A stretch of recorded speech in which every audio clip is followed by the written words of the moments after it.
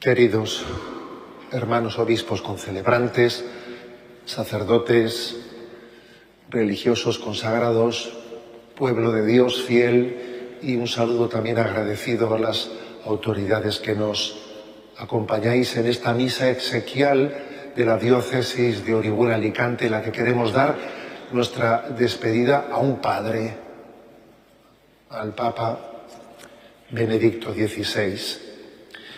Quede claro que un funeral no es un panegírico, por mucho que quizás sintamos la necesidad de decir tantas palabras hermosas hacia nuestro Padre.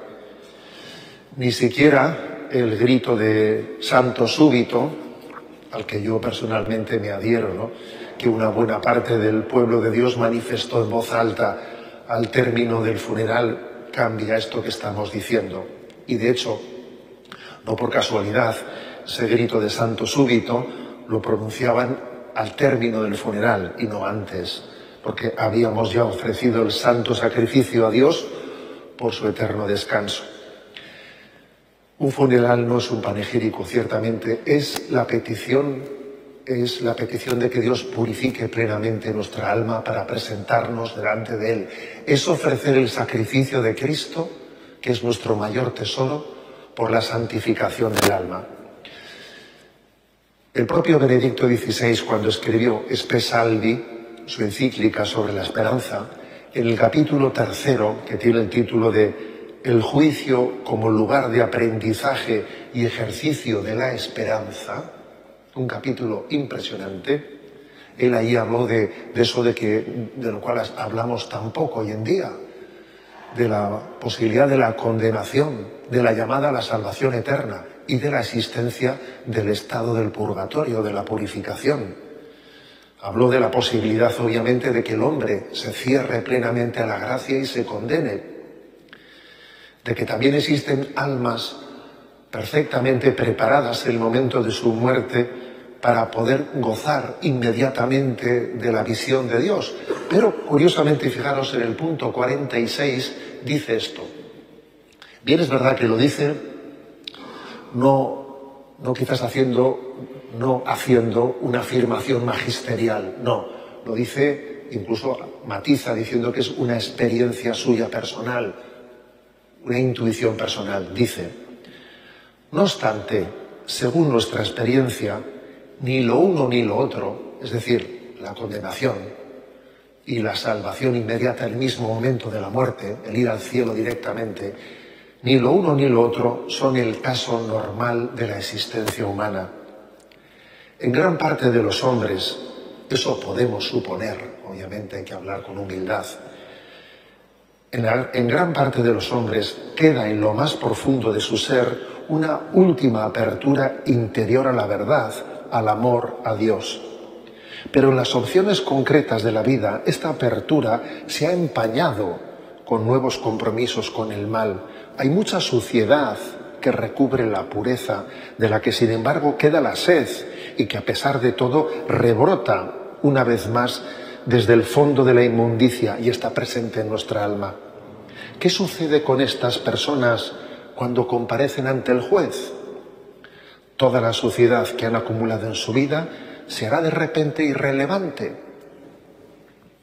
Es curioso que el Papa en esta encíclica nos explica el sentido del el fuego del purgatorio, diciendo que hay una diferencia sustancial entre el fuego del infierno y el fuego del, del purgatorio. Fijaros, dice en el punto 47. Algunos teólogos recientes piensan que el fuego que arde y que a la vez salva es Cristo mismo, el juez y salvador. El encuentro con Él es el acto decisivo del juicio ante su mirada toda falsedad se deshace. Es el encuentro con Él lo que quemándonos nos transforma y nos libera para llegar a ser verdaderamente nosotros mismos. En ese momento todo lo que se ha construido durante la vida puede manifestarse como paja seca, vacua, fanfarronería y derrumbarse. Pero en el dolor de este encuentro, en el cual lo impuro y malsano de nuestro ser se nos presenta con toda claridad, está la salvación. Su mirada, el toque de su corazón, nos cura a través de una transformación. ciertamente dolorosa, como a través del fuego, pero es un dolor bienaventurado, en el cual el poder santo de su amor nos penetra con una llama, permitiéndonos ser por fin totalmente nosotros mismos y con ello totalmente de Dios. Impresionante una explicación sobre el misterio de la purificación después de esta vida, lo que llamamos purgatorio. Este es nuestro Padre, Benedicto XVI, quien es capaz de hacer de su muerte un acto de evangelización y de educación en la fe, como ahora mismo estamos haciendo.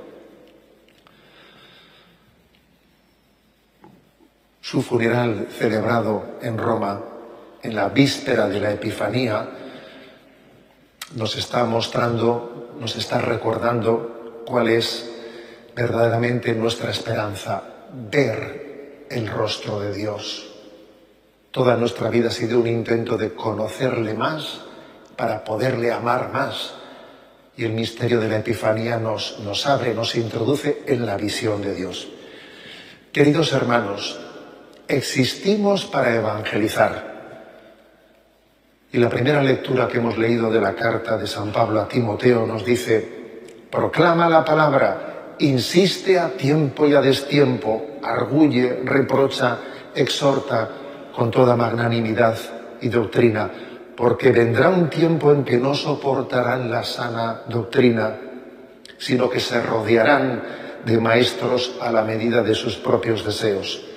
Sí, la confesión de la fe, queridos hermanos, requiere de, para que sea plena, requiere de cuatro niveles. Y creo que esto lo hemos aprendido en la vida de nuestro Papa emérito, de cuatro niveles. El primero, adhesión de fe al mensaje que predicamos, acoger íntegramente la, la, revelación, cada uno de nosotros como creyente, acoger íntegramente la revelación. En segundo lugar, vida coherente con nuestra fe, vivir en un estado permanente de conversión. En tercer lugar, proclamación fiel del mensaje de Cristo ante el mundo, ser testigos, ser predicadores, evangelizadores, predicar la fe tal y como la Iglesia la custodia, sin deformarla.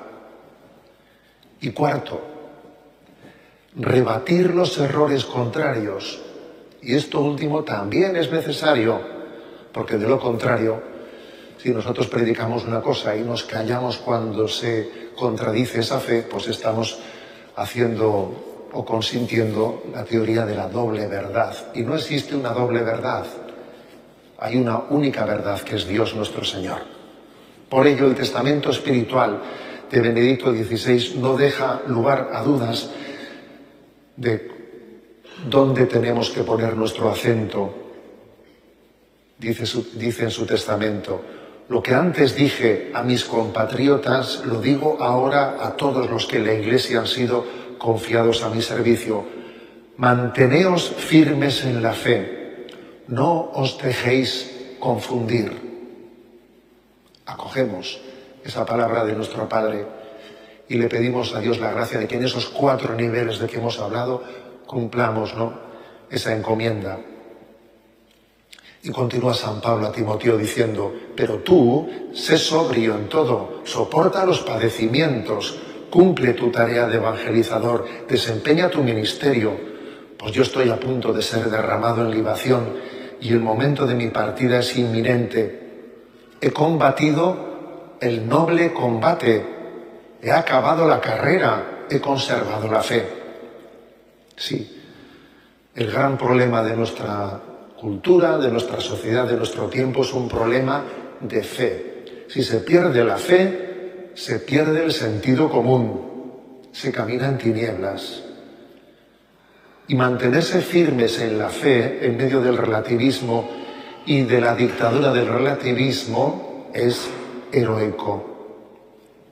Es heroico. Por eso él en su testamento nos insiste que tengamos paciencia, que seamos perseverantes en el combate de la fe, porque Él dice, visto caer a muchos gigantes aparentemente invencibles, pero que tenían los pies de barro. Y así dice en su testamento, desde hace 60 años acompaño, cuando escribió esto fue el año 2006, con lo cual ya son eh, pues, bastantes más años, podemos decir desde hace 75 años, he acompañado el camino de la teología, especialmente de las ciencias bíblicas, y con la sucesión de las diferentes generaciones, he visto derrumbarse tesis que aparecían inamovibles. Por ejemplo, la generación liberal, la generación existencialista, la generación marxista. Han sido gigantes que parecían invencibles, pero tenían los pies de barro. Por lo tanto, no os acomplejéis, no os asustéis, permaneced firmes en la palabra de Dios que es eterna. Librad el combate de la fe hasta sus últimas consecuencias. Cuando un padre fallece, todos los hijos queremos acoger su última palabra. Dime una palabra, Padre, antes de marchar. Y Él nos la ha dado. Señor, te amo.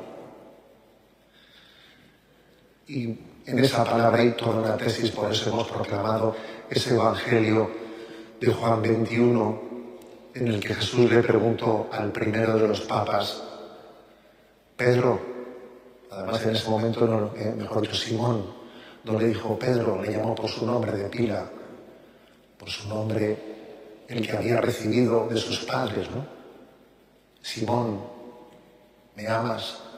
Joseph, ¿me quieres? Y entonces él le dice, Señor, yo te amo, tú sabes que te quiero, tú sabes que te amo. Se muere como se vive. Y quien ha dicho esta última palabra en su vida es porque ha vivido amando, porque ha vivido en la presencia de Dios. Y le pedimos, como Eliseo le pidió a Elías antes de marchar una parte de su espíritu, pedimos la gracia de vivir amando, tener, el corazón suficientemente enamorado para que lo que nos salga no sea una queja, un lamento, un reproche, sino una declaración de amor. Señor, yo te amo. Pedimos la gracia de que nuestro corazón descanse en Jesús. ¿Dónde está el descanso de nuestro corazón para poder morir en medio de la angustia de lo que es una agonía para poder morir diciendo, Señor, yo te amo, ha sido necesario que alguien encuentre en Jesús su descanso. De lo contrario no sería posible esa última palabra. Eso es lo que pedimos, que el corazón de Jesús sea nuestro descanso y que poniendo en él nuestros ojos, nuestra mirada, nuestra esperanza, podamos vivir en presencia de Dios de manera que la última palabra de nuestra vida pueda ser Señor, yo te amo.